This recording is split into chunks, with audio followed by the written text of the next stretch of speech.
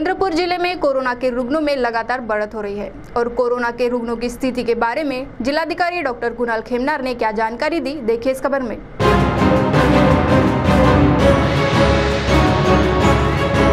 चंद्रपुर ज़िले में कोरोना के रुग्णों में लगातार बढ़त हो रही है और यह बढ़त रुकने का नाम नहीं ले रही। गौरतलब है, बीते शुक्रवार को देर रात तक 25 रुग्ण के संबंध में जानकारी मिली, जो अब तक की एक दिन में एक बड़ी संख्या होने की बात कही जा रही है। और आज एक बार फिर शनिवार को दोपहर 17 रुग्ण मिलने की जानकारी प्राप्त हुई है। एक तरफ़ कोरोना के रुग्ण मिल रहे हैं, मगर सौभाग्यवश कोरोना के रुग्ण ठीक भी हो रहे हैं, और कोरोना मुक्त होकर उन्हें अस्पताल से छुट्टी दी जा रही है। चंद्रपुर जिले में कोरोना के रुग्णों की स्थिति के साथ ही कोरोना के संबंध में जिलाधिकारी डॉक्टर कुणाल खेमनार ने विस्तार पूर्वक जानकारी दी। अठरा जुलै रोजी चंद्रपूर जिल्ह्यामध्ये एकूण रुग्णांची संख्या ही दोनशे साठ इतकी आहे. यामध्ये काल आपल्याला चोवीस तासामध्ये एका दिवसात पंचवीस रुग्ण एकाच दिवशी मिळाले. आतापर्यंतचा सगळ्यात मोठी संख्या आहे. तसेच आज सकाळी देखील आपल्याला दुपारपर्यंत सतरा नवीन रुग्णांची नोंद झालेली आहे. त्यामुळे आपला एकूण अकरा हा दोनशे साठ रुग्णांपर्यंत आहे. तसेच ऍक्टिव्ह रुग्णांची संख्या एकशे बारा आहे. आणि आतापर्यंत पूर्णपणे बरे होऊन डिस्चार्ज झालेल्या रुग्णांची संख्या ही एकशे अठ्ठेचाळीस आहे. त्यामुळे आपल्या जिल्ह्यामध्ये आता डबलिंग रेट जो आहे त्यामुळे रुग्णसंख्या दुप्पट होण्याचा रेट जो आहे तो चौदा दिवस आहे. हा रेट आपल्याला वाढवायचा आहे. म्हणजेच आपल्याला रुग्णसंख्येत होणारी वाढ म्हणजे याची गती ही कमी करायची आहे. त्यामुळे आपण जिल्ह्यामध्ये आपल्या चंद्रपूर शहरामध्ये आणि दोन ग्रामपंचायतींमध्ये आपण दहा दिवसांचं लॉकडाऊन घोषित केलेलं आहे. कालपासून चंद्रपूर शहरामध्ये हे लॉकडाऊन सुरू केलेलं आहे. आणि याचं वैशिष्ट्य म्हणजे पहिले चार दिवस हे लॉकडाऊन संपूर्णपणे टाळेबंदी यामध्ये आपण घोषित केलेली आहे.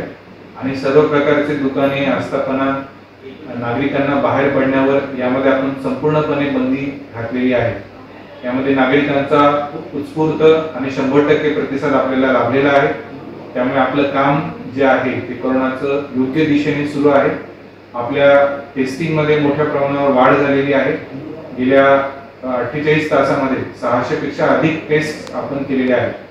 त्यामुळे मोठ्या संख्येने नागरिकांनी ज्यांना कोरोना सदृश्य लक्षणं असण्याची शक्यता वाटते. त्यांनी एक शून्य सात सात या क्रमांकांवर कॉल करून आपला आपली माहिती द्यावी. त्यांची चाचणी करून घेण्यात येईल.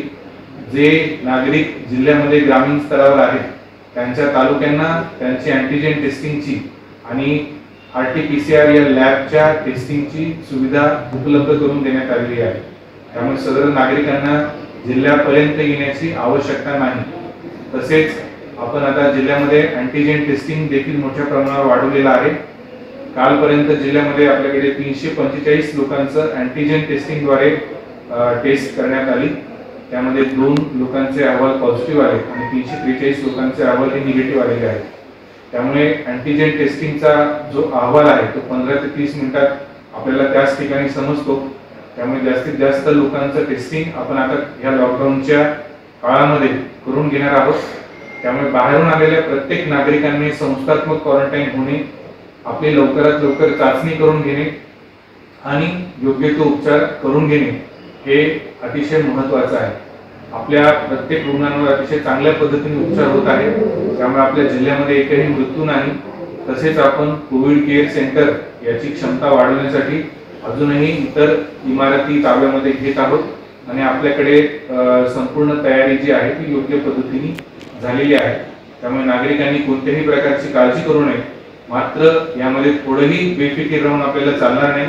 त्यामुळे हे लॉकडाऊन जर यशस्वी करायचं असेल तर या लॉकडाऊनच्या काळामध्ये अजिबात घराबाहेर न पडणं सर्व जे सुरक्षित अंतर आणि मास्क वापरण्याचे नियम आहेत ते पाळणं आणि सर्वात महत्वाचं म्हणजे बाहेरून आलेल्या प्रत्येक व्यक्तीने आणि ज्या लोकांना करोनाचं दृश्य लक्षणे आहेत अशा व्यक्तींनी आपली चाचणी करून घेणं हे अत्यंत महत्वाचं आहे.